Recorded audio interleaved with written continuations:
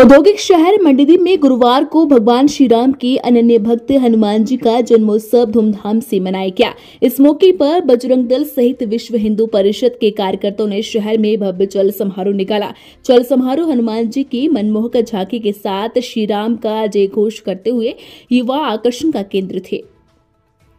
इसके अलावा हनुमान जयंती पर क्षेत्र की आस्था का केंद्र, खेड़ापति हनुमान मंदिर, जाखला हनुमान मंदिर, पचपन सीढ़ी हनुमान मंदिर सहित मंडी स्थित हनुमान मंदिर से अखंड रामायण के पाठ के साथ भंडारे का आयोजन किया गया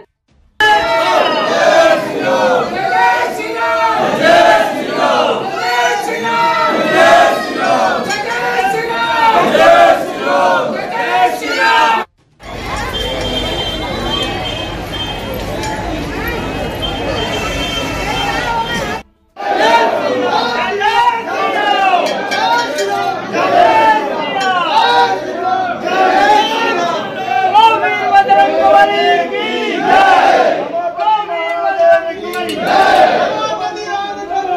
जय